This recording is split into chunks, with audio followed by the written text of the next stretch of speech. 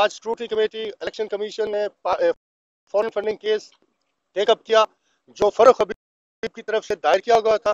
اس میں فروخ حبیب صاحب خود بھی پیش نہیں ہوئے، ان کے کاؤنسل بھی پیش نہیں ہوئے، ان کی حاضری بھی نہیں ہوئی۔ ہماری پیپلز پارٹی کی طرف ہمارے چارٹر اکاؤنٹنٹ راٹھور صاحب بھی موجود تھے کوسل اللہ چمر کی طرف سے محمود گلانی ایڈوکیٹ بھی موجود تھا۔ یہ اب لی لال کے وہ کر رہے ہیں، حرب استعمال کر رہے ہیں۔ پی ٹی آئی خود پیش ہی نہیں ہو رہی جنہوں نے پہلے ہمارے پر الزام لگائے ہوئے تھے کہ انہوں نے فورن فنڈنگ لی ہوئی ہے۔ ہم نے ان کو بارہا کہا بھی ہم نے جو فورن فنڈنگ لیا، آپ اس کے دکھائیں، کوئی ثبوت دکھائیں، کوئی آپ اس کے فورن ایل ایل سی جو آپ نے بولی ہوئی ہے، دو سال سے آپ نے کیس کیا ہوا ہے، وہ بتائیے گا پلیز ہمیں دیجیے گا کوئی ثبوت۔ لیکن آج ان کے نہ ہی کاؤنسل پیش ہوئے پی ٹی آئی جو کہ اب پٹی ہوئی جماعت رہ کے رہ گئی ہے پاکستان میں، ہر جگہ پہ U turn U turn U turn master جماعت بن گئی ہے۔ یہ آپ سب لوگوں کو پبلک اطلاج بھی پتا ہے۔ آج بھی نہ ان کا وکیل پیش ہوا ہے، نہ ہی وہ فروخ حبیب صاحب خود پیش ہوئے ہیں۔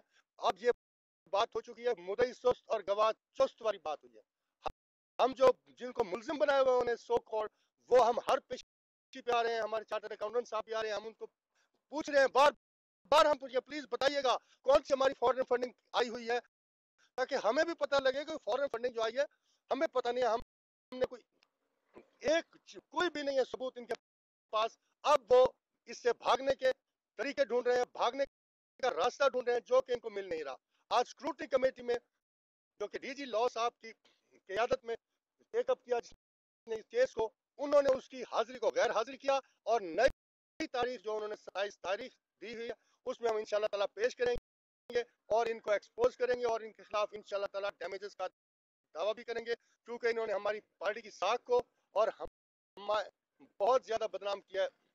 دیٹس آل سر ایک کیس پی ٹی اے کے خلاف بھی ہے۔ یہاں پر جس جس کو کبھی وہ ہائی کورٹ چلے جاتے ہیں کبھی کئی تو لال سے کام لیتے ہیں اس پر کیا کہیں گے؟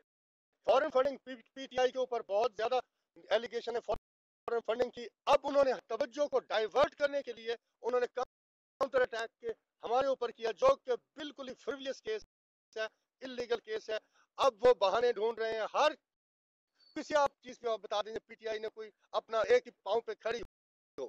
کسی چیز کسی ایک ایشو پہ وہ بتا دیجیے گا کہ بھئی اس کے اوپر پی ٹی آئی کا سٹینڈ ہے۔ نہیں ہے پی ٹی آئی کوئی جماعت ہی نہیں ہے۔